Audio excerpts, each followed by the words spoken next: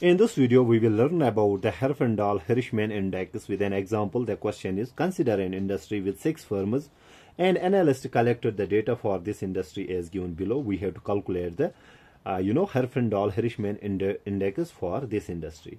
We are being given six uh, you know firms and their corresponding market share. That means firm one is market share is 30% of the total market and similarly for firm 2 it is 20% for firm 3 it is 15% for firm 4 5 6 it is 15 10 and 10% respectively.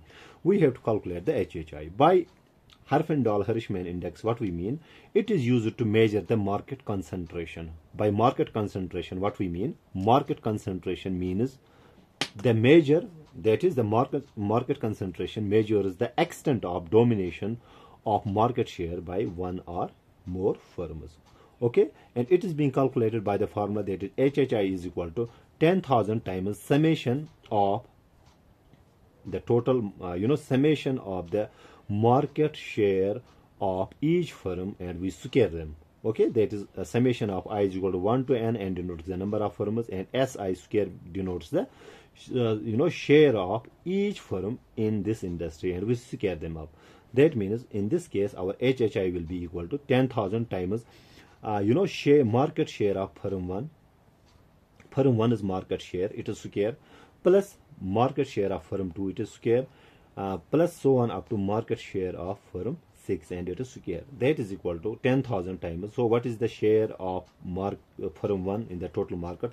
This is 0 uh, 0.3 okay? 30 percent can be written as 0.3 so we square this so 0.3 square. Similarly we square the share of you know share of market by firm 2 that is 0.2 square then we have 0.15 square 0.15 square 0.1 square 0.1 square. The thing is that what we do we add the share of each firm okay? But uh, it is square obviously and sum them up and multiply by 10000 and when we do this stuff we will get 10000 10000 times this stuff comes out to be 0.195 and it comes out to be 1950 that means this denotes the uh, you know HHI in this case. So how do we interpret? Its value lies between 0 and 10,000 if the value of HHI comes out to be 0 we have a case of perfect competition okay? And if its value comes out to be 10,000 meaning we have only one firm in this case um, uh, you know HHI's value will be equal to 10,000 uh, the thing is uh, this HHI indicate the closer a market is to a monopoly, the higher the concentration and lower its competition. That means if we if we have only one firm, so its share in the total market will be 100 uh, percent.